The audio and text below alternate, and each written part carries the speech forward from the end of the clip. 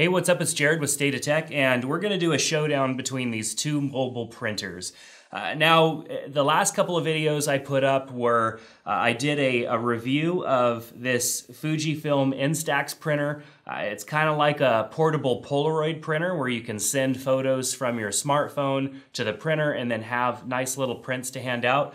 Um, and then the Polaroid uh, with the Zink paper. Uh, this Polaroid little printer is, uh, it prints about the same size of photo. It's just um, a little bit more customizable. So, you know, I thought let's do a video. Let's look at both of them, um, the pros and cons of both of them, and just kind of see, you know, what's good about them and what's not. So what we have here is the Instax with the printer paper that you need for the Instax and the Polaroid with the Zink paper. Um, they're both about a two by three inch print. However, uh, the Instax is a little different because it prints out uh, like a Polaroid with its own border and everything around it. So it, it's like a, a, classic Polaroid type of photo.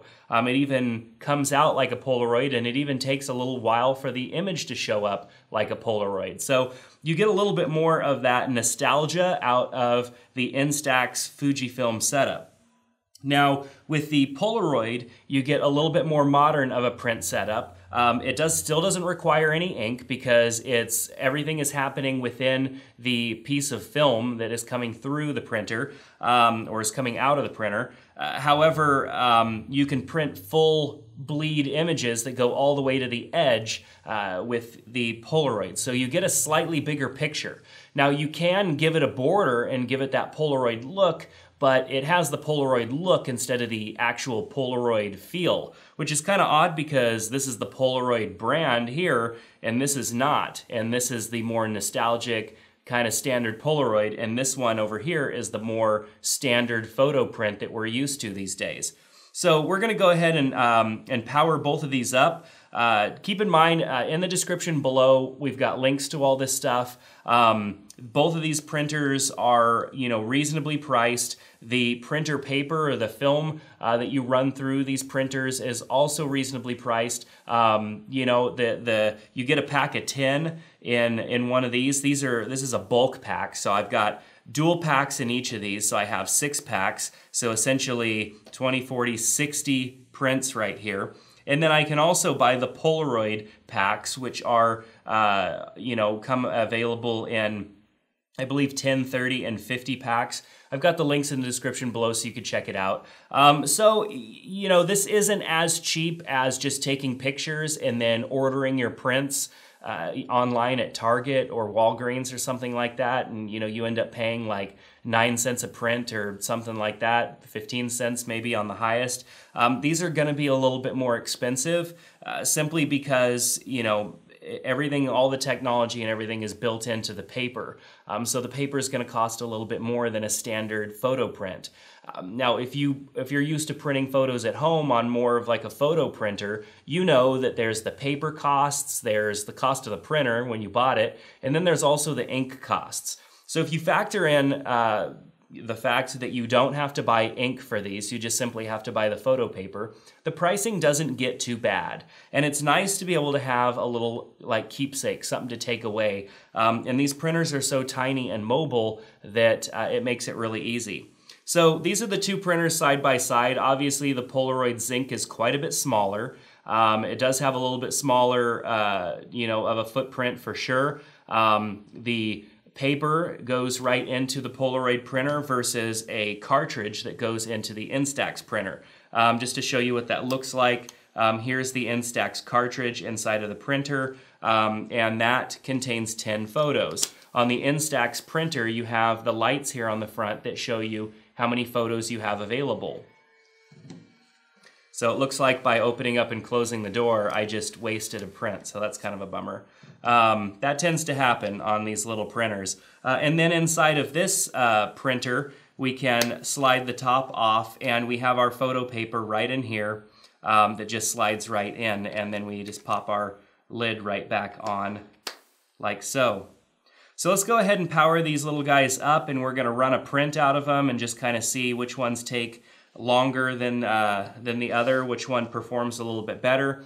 and then we will compare the photos and uh, see what is the best. So this is the black Polaroid. It comes in a variety of colors. The Instax, I believe, just comes in one color.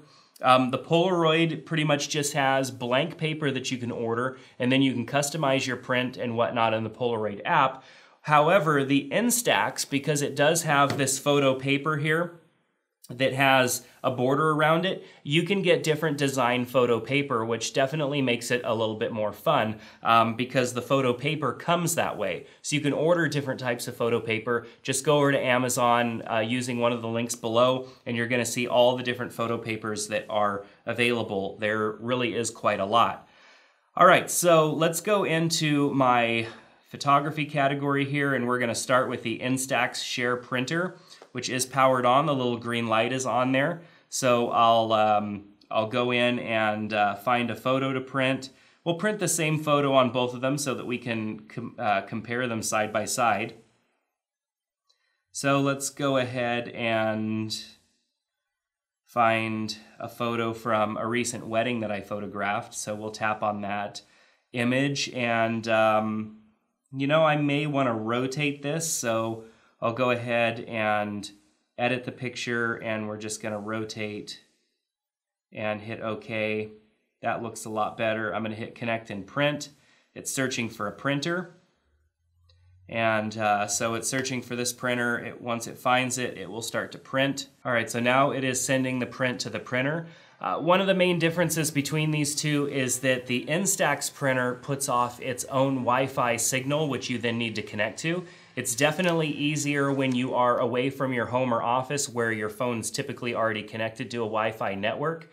Um, the Polaroid does connect via Bluetooth instead, which means you're not going to have to worry about jumping around between connections. With the Instax, if it's unable to find the printer, what you're going to need to do is go into the Wi-Fi settings of your device and make sure that the Instax printer is selected.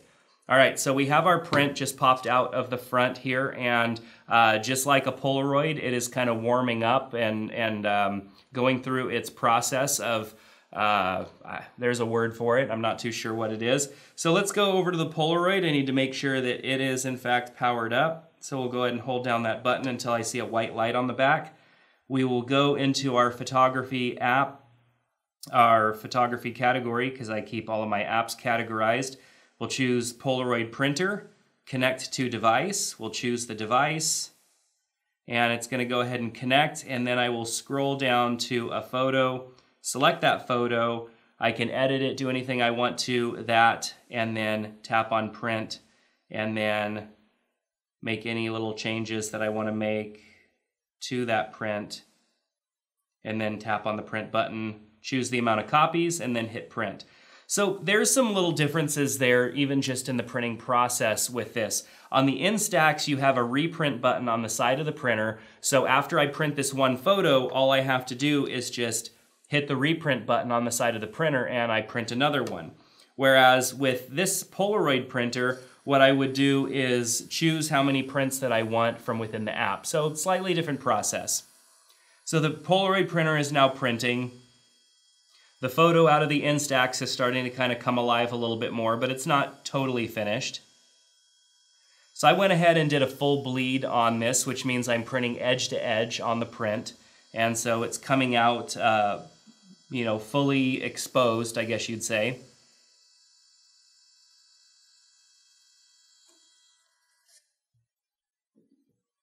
All right, so there's our print.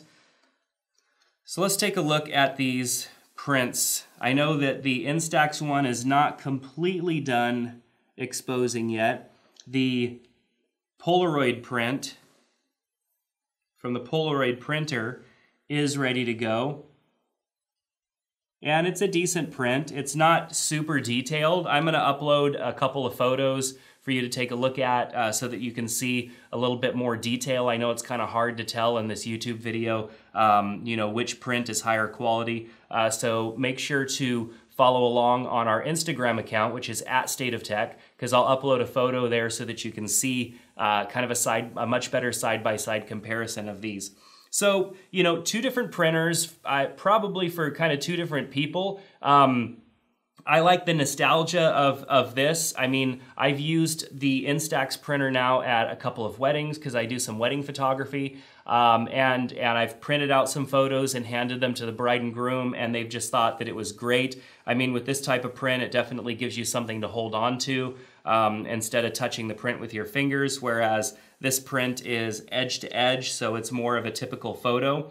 Um, but you know, both of these photos are uh, are, are nice considering they're just out of an instant printer. They're not of the same quality that you're going to get if you printed with a professional photo printer or you went to a photo lab or something like that. These are just kind of fun keepsake photos that are more of the quality level of, um, of like a photo booth or something like that. So, you know, I can't tell you which printer to get because I think each of these printers and uh, not just the printer, but the actual photo paper and what it produces are for kind of two different kind of needs or, or likes. Um, what I can say is that this Polaroid printer I think is better on the go. It's a little bit faster. The photos are ready to go right away and it's easier to load. And this is 50 sheets right here versus, and this is 60 sheets. So you're carrying this around with you versus carrying this around. Um, and from my limited testing with these, the Polaroid does seem to have a little bit better battery life than the Instax printer. The Instax printer would do about 25 prints, 20 to 25 prints before it needed a new charge. And the Polaroid, I was able to get uh, about 25, and I didn't even notice really any issue with the battery. So I think the Polaroid might last a little bit longer with the battery, but uh, it could also have been the circumstances uh, in which I was using it. So pretty cool. I mean, these instant printers are fun. Uh, there isn't an, a need for everybody to have one, but if you like giving people photos, actual photos, which we don't typically do these days, we usually text message our photos. Um, here's this has just been a, a, slight breakdown of these little printers just to kind of give you an idea of which one's better. And and the reason that I did this is because the only way that I was able to find out was to actually buy them. Um, I looked online to try and see which one was better, and nobody had really that great of an answer for me. Uh, so now I know that probably you know the one that I will stick with for for my liking is uh, is the Polaroid, simply because it's slim, it's much smaller. I can carry this with me much easier than having to carry all of this with me. Um, I also feel that you get a little bit bigger image, uh, considering that um, you know this is a two by three print you get a slightly larger image from this 2x3 print than you get out of this kind of Polaroid looking print, but the nostalgia is just too awesome. This is very much like the Polaroids of the past. So anyways, that's going to do it for this video. If you liked it, please click the thumbs up, share it with someone else. Remember that the links are in the description below so that you can check out all of this stuff. If you have any questions, please ask in the comment section below. And if you want to get updated when we put out new videos, make sure to click on that subscribe button. Thanks again, and we hope to see you soon here on State of Tech.